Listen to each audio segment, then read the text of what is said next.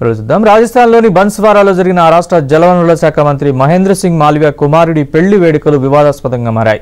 పెళ్ళి వేడుకల్లో పెద్ద ఎత్తున కాల్పులు జరుపుతున్న వీడియో ఒకటి తాజాగా బయటపడింది. వేడుకల్లో భాగంగా పలువురు తుపాకీలను పట్టుకొని నృత్యాలు చేస్తున్న దృశ్యాలు ఇప్పుడు చర్చనీయాంశంగా మారాయి.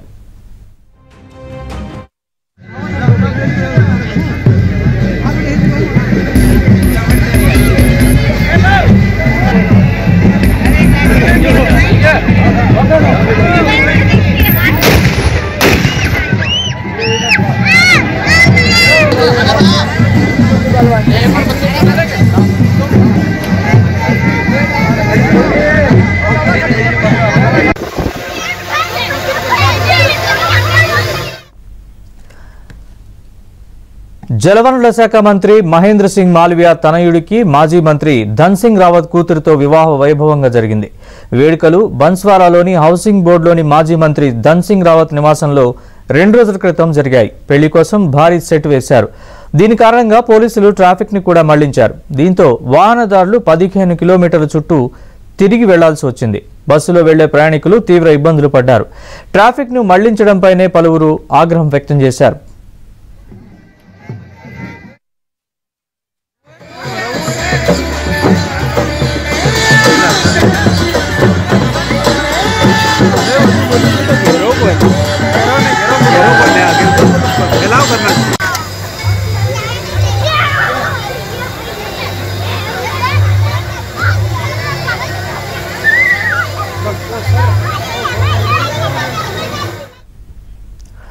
తాజాగా ఈ పెళ్ళికి సంబంధించిన వీడియో ఒకటి బయటికి రావడంతో అది కాస్త వివాదాస్పదంగా మారుతోంది.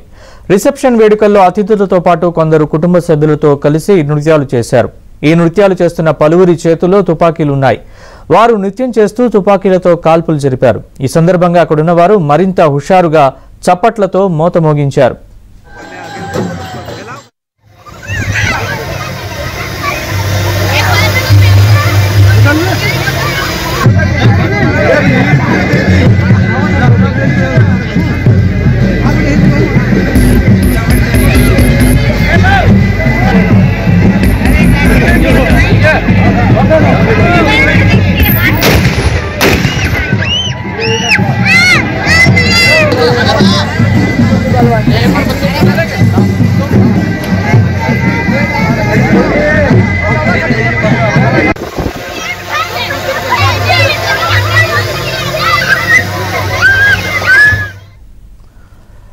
కాంగ్రెస్ ప్రభుత్వంలో మంత్రిగా ఉన్న మహేంద్ర సింగ్ మాల్వియా బీజేపీ నేత మాజీ మంత్రి ధన్సింగ్ రావత్ గతంలో ఒకరిపై ఒకరు రాజకీయ విమర్శలకు దిగేవారు. పెళ్ళి వేడుకతో వారు ఒక్కటయ్యారు.